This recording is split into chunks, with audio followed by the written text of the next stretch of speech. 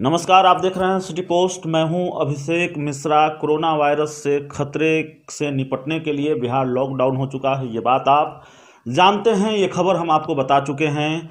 खबर यह है कि कैसे कोरोना वायरस जैसे बड़े खतरे से निपटने के लिए जो वैश्विक महामारी बन चुकी है पक्ष और विपक्ष सब साथ मिलकर, सब लोग साथ मिलकर, आम लोग सरकार के साथ खड़े हैं, विपक्षी पार्टियाँ सरकार के साथ खड़ी हैं, और सब लोग मिलकर इस खतरे से जूझ रहे हैं और हर ज़रूरी एहतियात बरत रहे हैं।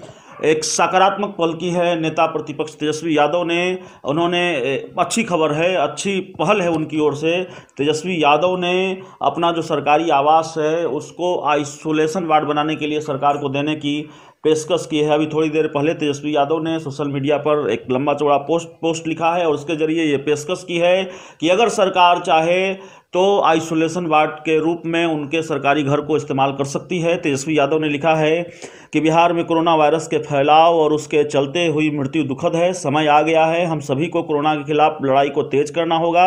सरकार को हर लापरवाही त्याग कर एक्शन लेने होंगे। इस लड़ाई में हम सरकार का हर संभव सहयोग को तैयार हैं। इसी कड़ी में नेता प्रतिपक्ष होने के नाते जो सरकारी आवास एक पोलो रोड मुझे आवंटित है, मैं चाहूँगा कि उस आवास का सदुपयोग क्वारंटीन, जाँच केंद्र और अधिक आइसोलेशन वार्ड और बिस्तरों की संख्या बढ़ाने या इस बीमारी से लड़ने के लिए अन्य किसी रूप में हो सके।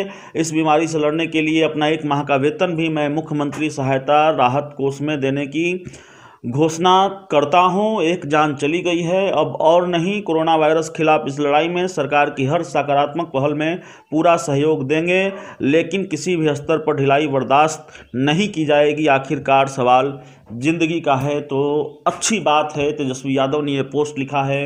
अपने एक माह का वेतन भी मुख्यमंत्री राहत कोष में देने का ऐलान किया है अपने घर को आइसोलेशन वार्ड बनाने के लिए या फिर कोरोना पीड़ित किसी भी मरीज़ की जान बचाने के लिए चाहे जिस रूप में सरकार इस्तेमाल करना चाहे, एक पोलो रोड जो उनका सरकारी आवास है, उसको देने की पेशकश सरकार से की है और दरअसल यही अच्छी बात दिख रही है। यही जज्बा हिम्मत दे रहा है इस वैश्विक महामारी से लड़ने का, क्योंकि कम से कम से कम इस मौके पर दलगत राजनीति से उठकर, राजनीति को दरकिनार कर, चाहे वो सत्ता पक्ष हो, चाहे वो विपक्ष हो, चाहे आम लोग हो, सब लोग एक साथ खड़े नज़र आ रहे हैं और हर ज़रूरी एहतियात बरत रहे हैं और जो कुछ भी किया जाना चाहिए, वो करने की कोशिश कर रहे हैं। तो अच्छी खबर है, इस खबर में इतना ही। अगर आपको हमारी खबर अच्छी लगे, इसे अपने दोस्तों के साथ शेयर करें। हमारे यूट्यूब चैनल को सब्सक्राइब करें वेलाइकन ज़रूर दबा दें ताकि हमारी खबरें सबसे पहले आप तक पहुँचे।